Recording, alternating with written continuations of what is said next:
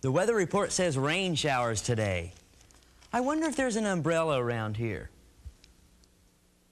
Here, I found one. Some shield from the rain this would be. When you need a shield, you want a big shield.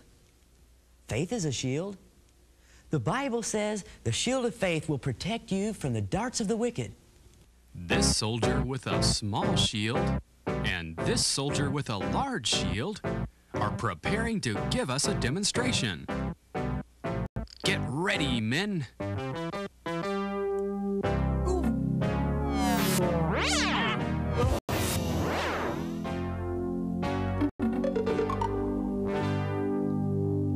happy soldier carries a large shield.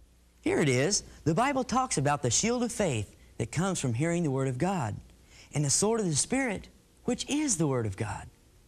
You'll never have to be without the shield and sword. Not at home, at school, in the morning, at night, indoors. And now, a bedtime story. Tonight, I'm not gonna think about that green hairy monster. I just thought about it. The more I try to forget what I don't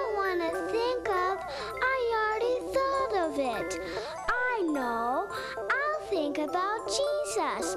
Jesus is my hiding place. I will have no fear. Jesus is my hiding place. I will have no fear. Jesus is my hiding place. I will have no fear. Jesus is my hiding place. Go away! I belong to Jesus.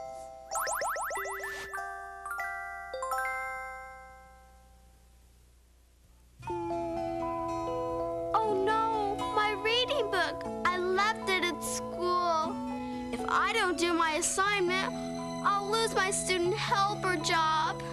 You are in trouble. You can't borrow a book from anyone because everyone else did the assignment while you were grading papers. I'll go to school tomorrow and get my own book. No, the school is locked for the whole weekend. You are in trouble and there is nothing you can do about it. Is something you can do about it, and you can do it right now. Pray. Ask the Lord to help you. Ask Him to make it possible for you to get your book so you can do your assignment. Dear Jesus, thank you for caring about everything in my whole life. Please help me get my reading book tomorrow so I can do my assignment. In Jesus' name, amen.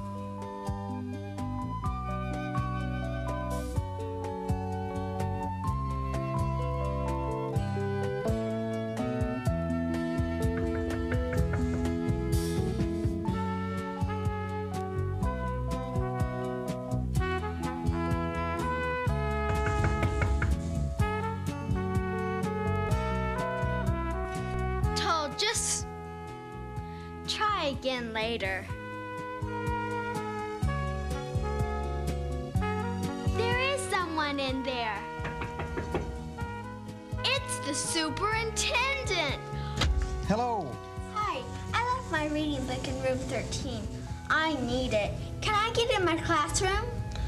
Well, I tell you, I'm not really usually here on weekends. I just happened to be here today because my son is home from college and we're playing some basketball and I'm not normally at this school, but well, let's I have a key and it may fit the room, so come on in. Let's try it. Thank you.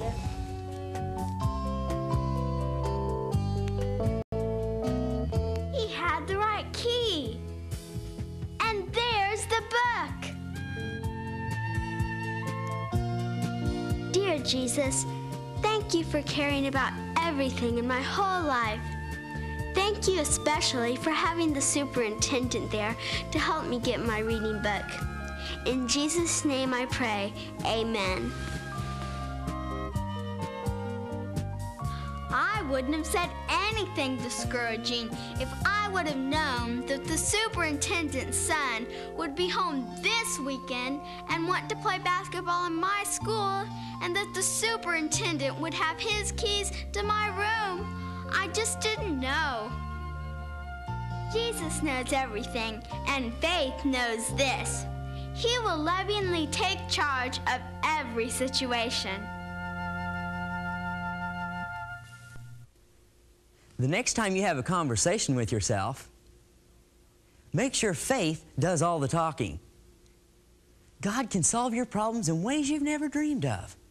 We hope you've learned something in this true story in Mindy's life.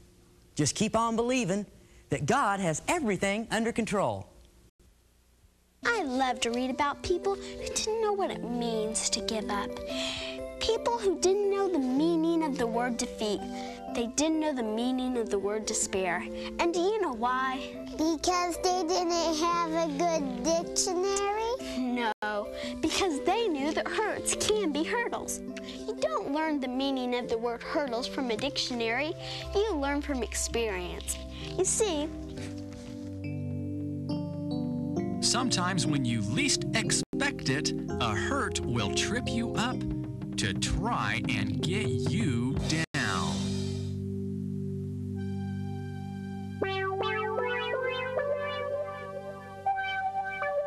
But God's Word can raise you up. Because of Jesus, the very hurts that hurt you can be your hurdles. Determined to go forward according to God's Word. Give thanks that Jesus is in His Word and He will lift you up. Because of Jesus, you can enjoy the atmosphere of higher living. Just keep moving forward, holding fast to God's Word. Cause hurts can be hurdles. It is said that the famous scientist Sir Isaac Newton was sitting under a tree when Ouch! That smarts. an apple made his head smart. But because he knew that hurts can be hurdles, it made his head smart enough to discover the law of gravity. He said he would believe in God if it were just for the evidence of the thumb alone. He knew that God made each person something special. something special. No one just like you. Stamped on your thumb is a sign that you are you. Something special. God made only one. He wrote, I love you on the end of your thumb.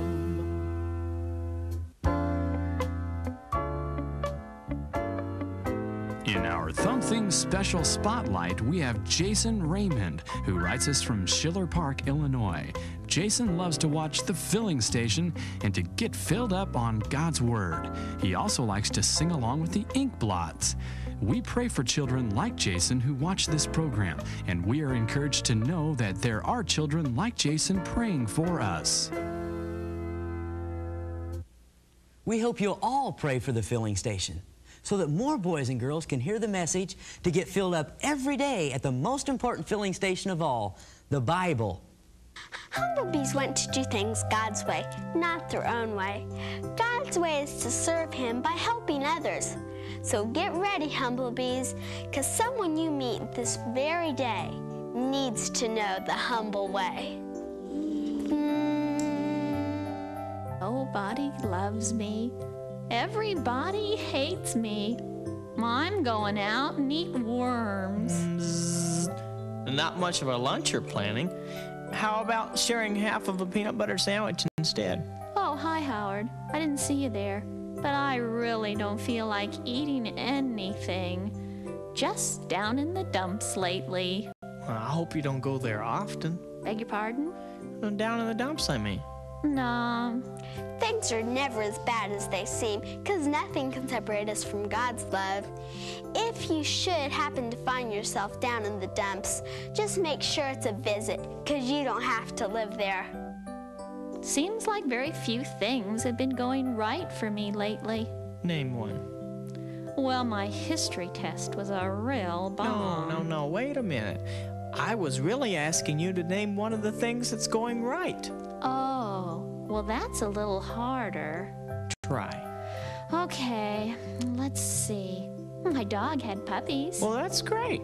How about another one? Hmm, Mom said she'd make my favorite dessert for supper tonight. See, that's great too. Making your thinker into a thanker is going to make you stop feeling like such a cranker. What? That's just Howard's way of saying, keep your tank full of thankful. I'll write down the letters of the alphabet on one side. And for each letter, you think of one thing you're thankful for.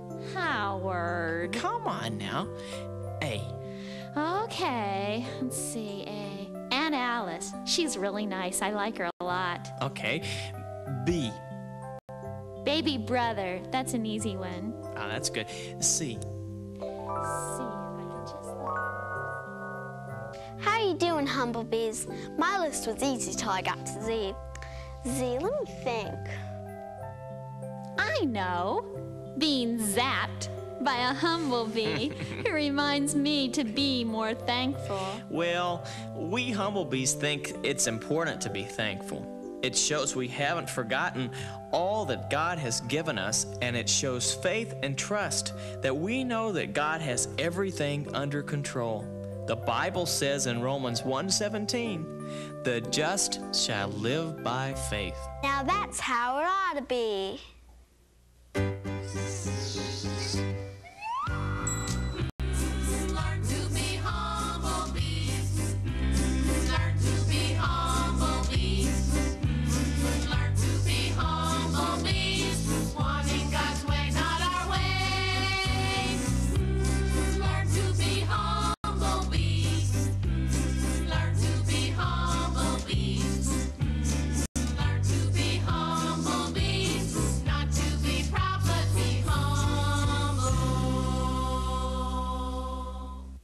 Let's take time out and fill up on Romans 1:17.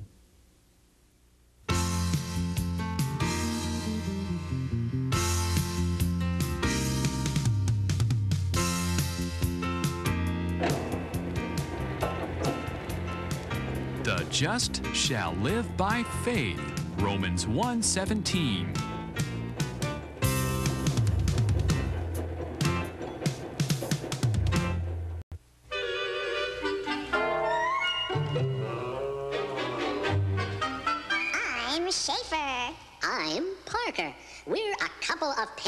Who want to help you to learn today's memory verse. Romans 1 17.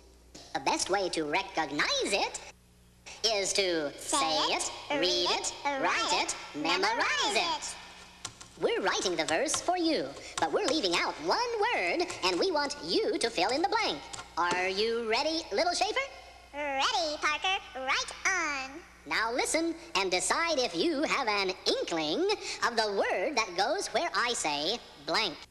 The just shall live by blank. Do you know what word is missing? It's faith. Romans chapter 1 and verse 17 says, The just shall live by faith. Wait a minute, Parker. Next to the verse we've written, there seems to be some ink blots on the page. Those aren't just any ink blots, they're the filling station's favorite vocalists ready to sing our memory verse. So let's hear it from the ink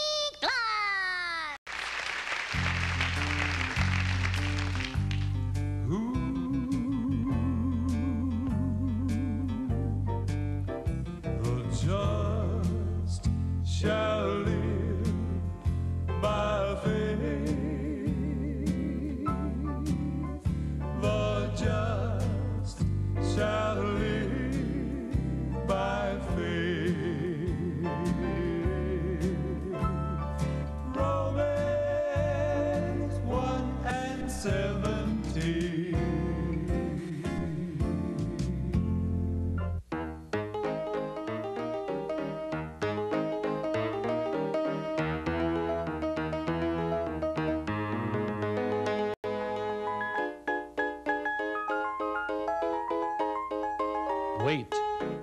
You can't have knowledge before virtue. That would lead to pride.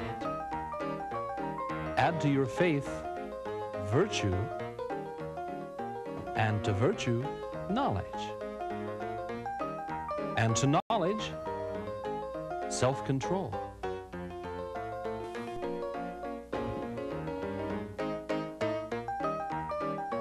And to self control, patience.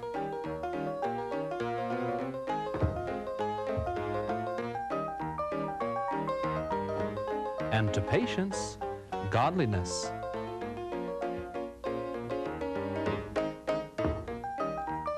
And to godliness, brotherly kindness.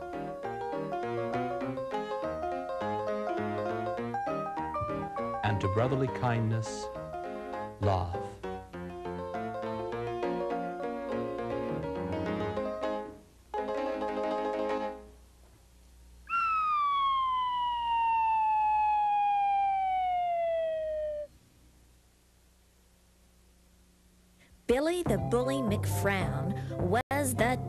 Kid in the town. When he flexed his arm, it was like an alarm to the other kids to all scatter around. He was tough, and everyone knew it. Gum in the wrapper was the way that he chewed it. It was said everywhere, he's too tough to care. That is, till he met Jimmy Pruitt. Now, you may think Jim strong and tall. Fact is, he was really quite small. He didn't push him and shove. His secret weapon was love. He'd say things like, Wanna play ball? Other kids said, Why play with Bill? He's so mean. He's just a pill. God loves him, said Jim. Christ died for him. God asked me to love him, and I will. This story has a wonderful end, 'cause Jim's love wasn't pretend. And Bill learned that that love comes down from above. Now Jesus is both their best friend.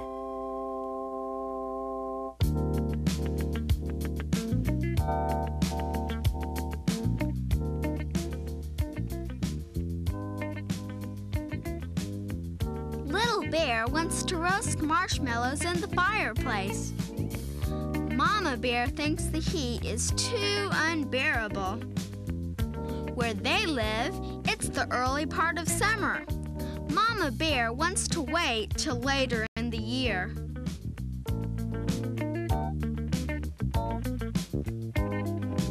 August, an even hotter month. Here comes Little Bear, bearing wood this time. She wants to roast marshmallows, from her actions, I can tell she believes Mama Bear will bear with her this time.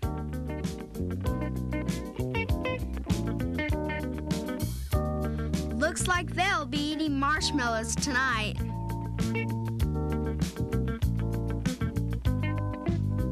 Love works.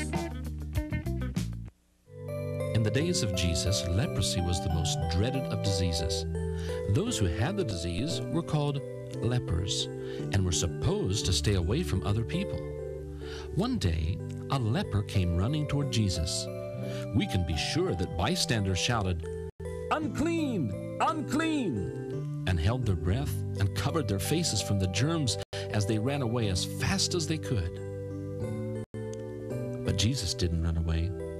The leper got on his knees before Jesus and said, If you will, you can make me clean. Jesus said, I will. Be clean.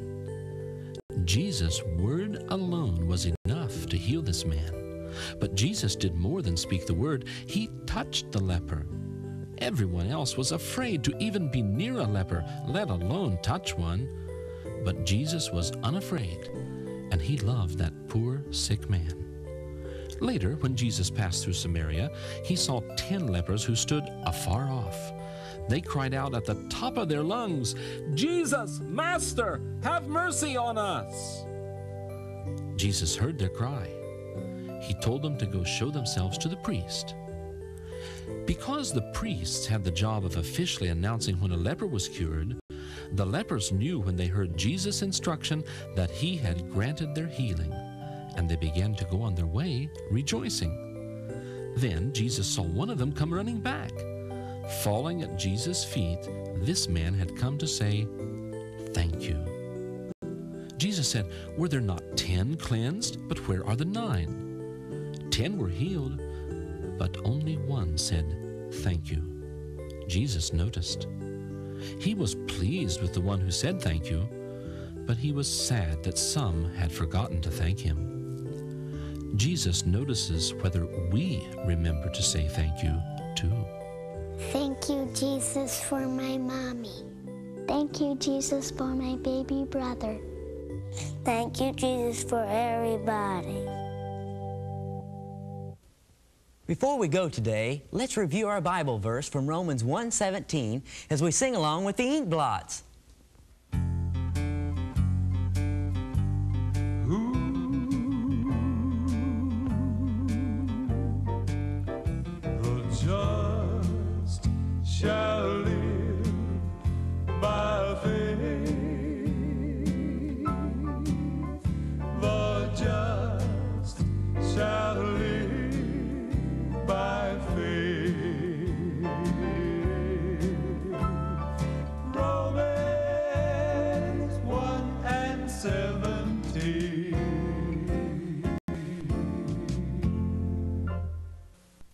One more time.